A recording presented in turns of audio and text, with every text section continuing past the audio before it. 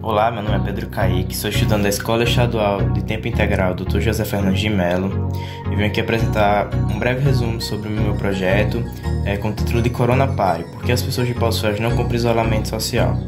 Este projeto tem como base explicar o porquê da população de Paus Ferros está apresentando dificuldades em seguir os protocolos de segurança que foram estabelecidos para a proteção do novo coronavírus e o Covid-19.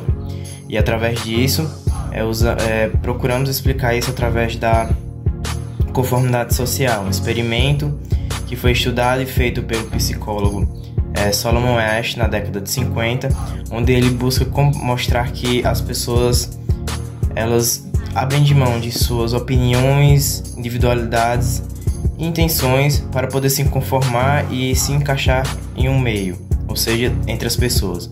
E através desses estudos, é, conseguimos comprovar o porquê das pessoas de pau dos ferros é, apresentarem suas dificuldades em seguir essas medidas de segurança.